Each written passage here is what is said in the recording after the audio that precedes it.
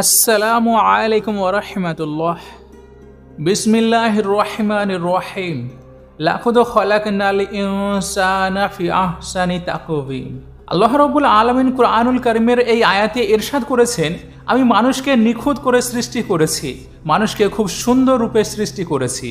আল্লাহ রবুল আলমিন এই কায়নাতে যে কোনো জিনিসকে সৃষ্টি করেছেন, সেই প্রত্যেক জিনিসের পিছনে কোনো না কোনো রহস্য অবশ্যই লুকিয়ে আছে। কোনো না কোনো উদ্দেশ্য অবশ্যই আছে। কেননা এই কায়নাতের কোনো জিনিসকে উদ্দেশ্যহীনভাবে সৃষ্টি করা হয়নি। যদি মানুষের শরীরের দিকে লক্ষ্য করা হয়, তাহলে আল্লাহ রাবুল আলমিন মানুষকে দুটো হাত দিয়েছেন আল্লাহ রব্বুল আলমিন দুটো পা দিয়েছেন, নাক দিয়েছেন জিহপা দিয়েছেন, মস্তিষ্ক দান করেছেন। যদি আমরা ভালো করে লক্ষ্য করি, তাহলে মানুষ তার দুই হাত দ্বারা নিজের কাজ কাম করে থাকে। মানুষ নিজের হাতে করে অনেক সমস্ত কাজকে সমাপ্ত করতে পারে। দুটো পা আছে যেগুলি চলতে সাহায্য করে। নাক থাকার জন্য সুগন্ধ নিতে পারা যায়, জিহ্বা থাকার জন্য স্বাদকে অনুভব করতে পারা যায়। মস্তিষ্ক আছে সেই জন্য চিন্তা ভাবনা করতে পারা যায়। তো এমনইভাবে প্রত্যেকটা জিনিসের কোনো না কোনো উদ্দেশ্য অবশ্যই আছে। তো আজকের এই ভিডিওতে আমরা জানব, মানুষের শরীরে যেই তিল থাকে, সেগুলোর সঠিক ব্যাখ্যা কি কি? মানে আমরা বুঝে নেব যে মানুষের শরীরে কোন কোন স্থানে তিল থাকলে কি কি হয়ে থাকে। কিন্তু সর্বপ্রথম আপনাদেরকে জানিয়ে রাখি যে এই কথাগুলোকে শোনার পর অথবা এই জ্ঞানকে নেওয়ার পর এর উপর বিশ্বাস রেখে দেবেন না যে এই রিসার্চ আপনার জন্য একশো শতাংশ সত্য হবে, এমনটি একেবারেই হয় না। এইগুলোকে আল্লাহ রাব্বুল আলমিনই ভালো জানেন। সেই জন্য এই সমস্ত জ্ঞান একদিকে, কিন্তু আমাদের বিশ্বাস, আমাদের ইমান সেই এক আল্লাহর উপরে আছে মানে যা কিছু হবে সেই আল্লাহর জাত থেকেই হবে।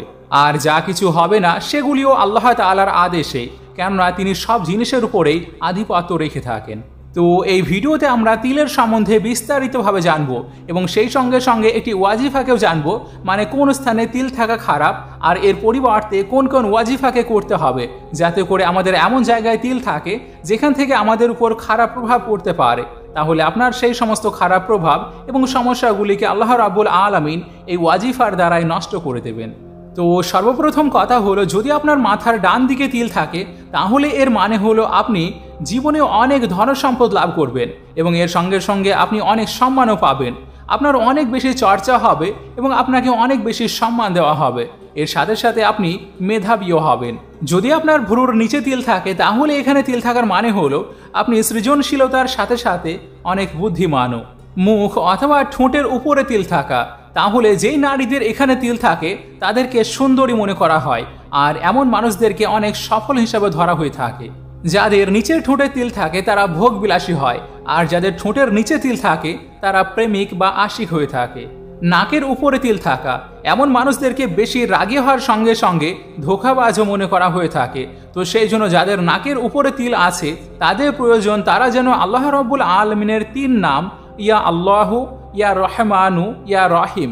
এই তিন নামকে একশো চোদ্দ বার পরে দিনের যে কোনো সময়ে আপনার হাতের উপর দম করে সম্পূর্ণ শরীরে বুলিয়ে নেবেন। ইনশা আল্লাহ তার উপর থেকে সমস্ত রকম খারাপ এবং ফিতনাকে সমাপ্ত করে দেওয়া হবে। আর আল্লাহ রব্বুল আলমিন তাকে নিজের হেফাজতে রেখে দেবেন।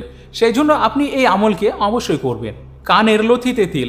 যদি কোনো মানুষের কানের লতিতে তিল থাকে, তাহলেই এমন মানুষেরা নিজের ফ্যামিলির সঙ্গে খুবই ভালো সময় অতিবাহিত করে। গালের উপরে তিল। যদি তিল ডান গালে হয়ে থাকে, তাহলে এমন মানুষেরা খুবই সংবেদনশীল হয়ে থাকে। আর যদি বাম দিকের গালে তিল থাকে, তাহলে এর মানে হলো তারা নিজের দুনিয়াতে ব্যস্ত থাকে এবং এই সমস্ত মানুষদের উপর অভাবও নেমে আসতে পারে।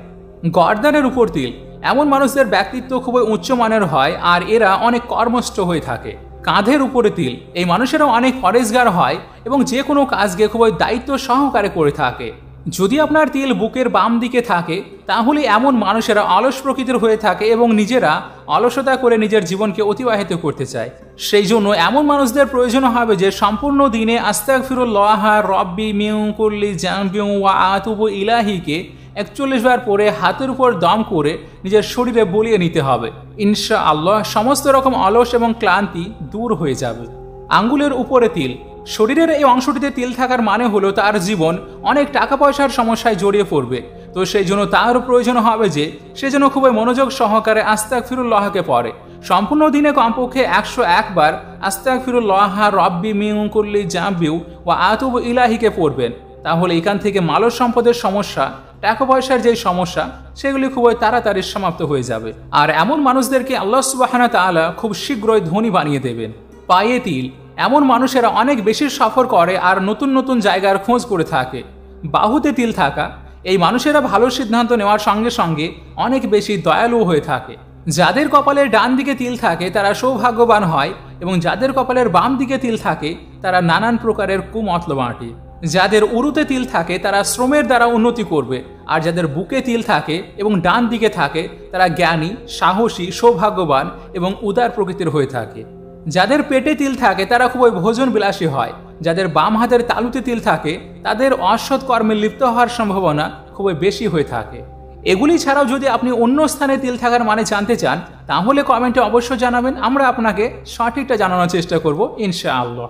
আবারও জানিয়ে দিই যে, যেই সমস্ত জ্ঞান আপনি নিলেন, সেগুলি বাস্তবে সত্য হয়ে যাবে এবং সবার সঙ্গে সত্য হবে, এমনটি খুব কমই হয়ে থাকে। কেননা, এটি একটি সাধারণ রিসার্চ করা জ্ঞান, আর এর ব্যতিক্রম অবশ্যই থাকবে। কিন্তু আপনি সম্পূর্ণ বিশ্বাস শুধুমাত্র এক আল্লাহর উপরে রেখে দেবেন, বিশ্বাস করবেন যে আল্লাহ রাব্বুল আলমিনের পক্ষ থেকে সব কিছুই হয়ে থাকে। যদি তিনি না চান, তাহলে কোনো কিছুই আর হবে না।